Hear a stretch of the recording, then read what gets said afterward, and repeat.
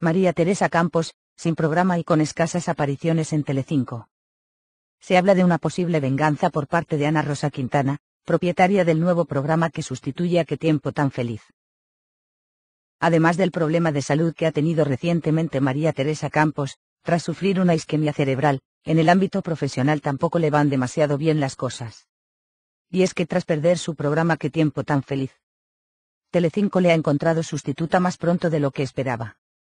Ahora en la tarde de fin de semana la cadena principal de Mediaset emite Viva la Vida, un magazín del estilo al que conducía la Campos, pero presentado por Tony Moreno. Además del cambio de presentador hay varias diferencias entre ambos programas que no pasan inadvertidas. La primera es que el nuevo espacio televisivo no está alcanzando los niveles de audiencia que tenía el otro, la segunda, el cambio de productora, un dato a simple vista inocente pero que si se analiza puede explicar muchas cosas. Cuarzo es la productora de Viva la Vida, que curiosamente es propiedad de Ana Rosa Quintana. Aquí viene la polémica. Según apuntas diario, en el medio televisivo hablan de una posible venganza por parte de Ana Rosa Quintana, que con el nuevo programa de su productora habría logrado apartar a su eterna rival, de Telecinco.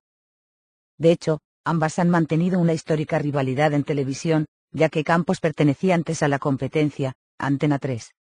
Así pues, se habla de una especie de conspiración por parte de la presentadora, así como del director de la cadena, Paolo Basile, que a pesar de haberle asegurado un contrato de larga duración, las apariciones de María Teresa en Telecinco se han visto cada vez más reducidas. Este, según apunta el medio citado, puede haberse aprovechado de aquella vez que Campos le llamó, gilipollas, en directo, y se la está devolviendo quitándole protagonismo en televisión.